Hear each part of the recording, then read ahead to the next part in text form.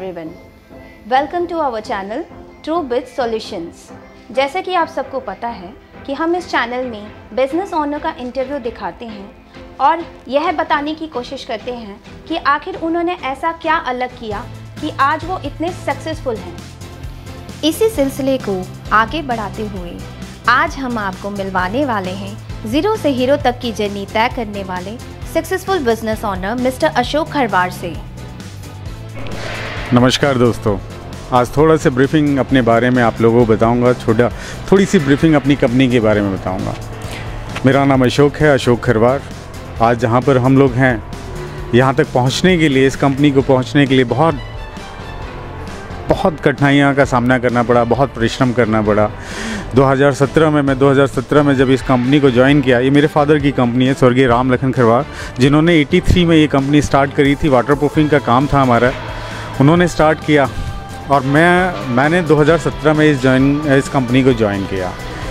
2017 से लेकर 2022 तक का जो सफ़र है, बहुत रोमांचक भी रहा और बहुत कठिनाइयाँ भी मुझे फेस करनी पड़ी, इस कंपनी को भी फेस करनी पड़ी।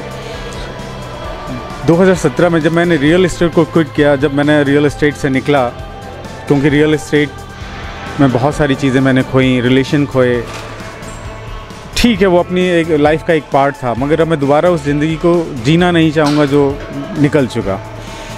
2017 में जब मैंने इस कंपनी को ज्वाइन किया तो पहला छोटा सा प्रोजेक्ट लिया था हम लोगों ने आदित्य बिरला ग्रुप के लिए।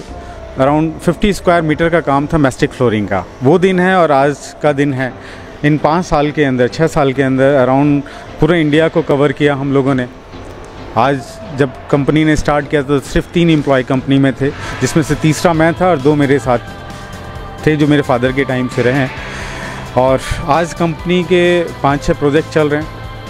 और कोविड टाइम में भी कंपनी ने काम किया। कोविड टाइम में मोस्टली आपने देखा कि बहुत लोग परेशान रहे हैं, बहुत लोगों के साथ उतार चढ़ाव रहा है कोविड टाइम में। मगर कंपनी ने प्रयास किया कि कंपनी को मौका मिला कोविड टाइम में काम करने का तो कोविड टाइम में काम किया। आज हम लोग एच पी के लिए काम कर रहे हैं, हिंदुस्तान पेट्रोलियम के लिए एच इंडियन ऑयल के लिए, भारत के लिए, भारत गैस के लिए नेशनल हाईवे के लिए रेलवे के लिए। कई सारी जो अच्छी कंपनियाँ हैं, उनके लिए हमने मैस्टिक फ्लोरिंग का काम किया। आज मैं थोड़ा सा ब्रीफिंग इस, जिस कंपनी में हम लोग खड़े हैं, ये एचपीसीएल का बॉल्टिंग प्लांट है एल पी प्लांट है, जहाँ पर अभी हम लोग, जिस शेड में है, ये, यहाँ पर फिलिंग शेड बोला जाता है।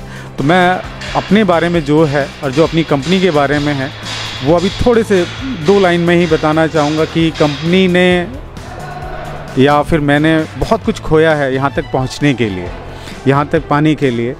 और उम्मीद है कि और भी आगे जाएँगे। इंडिया की पहली कंपनी है जो 27 स्टेट में मैस्टिक फ्लोरिंग का काम किया है। बहुत सारी कहानियाँ हैं, बहुत सारे अपने एक्सपीरियंस हैं, अपने साथ के फ्रेंड्स ये है कैरोज़र जहाँ पर सिलेंडर भरे जाते हैं। ठीक है, ये सारा एरिया है। दूसरा कैरोज़र यहाँ पर है। और अभी जो हमारा मेंटेनेंस वर्क चल रहा है, मैं आपको दिखलाऊँगा, ये साइड में हमारी टीम का टीम के मिस्त्री हैं, जो ये रिपेयर वर्क कर रहे हैं। एक मिनट ये इसके नीचे आरसीसी था। जिसको तोड़ा गया था कैरोजर इस मशीन को बैठाने के लिए।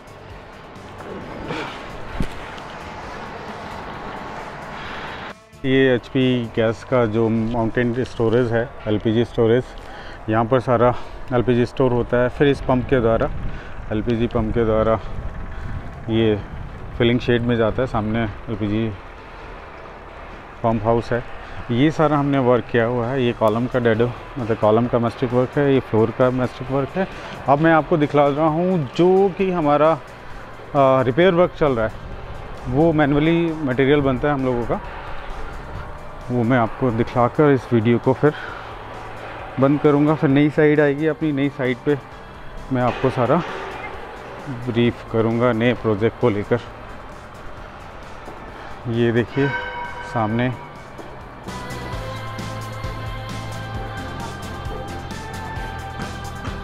दोस्तों, ये हमारा जो मैं, जो मटेरियल बन रहा है, जो रिपेयर वर्क चल रहा है, उसका है। बिटोमिन गर्म हो रहा है, उसमें मैस्टिक बन रहा है। ये जो वेस्ट में स्टिक था, उसको रिसाइकिल कर रहे हैं हम लोग। और ये आप देख रहे हैं पूरा शेड धूप बहुत अच्छी हो रही है। आगे का जो आगे की फिलिंग और लोडिंग शेड है, वो है। ये कन्वेयर है। ठीक है फ्रेंड्स थैंक यू मशीन हमारी दूसरी तरफ़ है। नई साइट पे मैं आपको इससे भी अच्छी या जो भी जानकारी मुझे लगी मैं आपको बताऊँगा। Thank you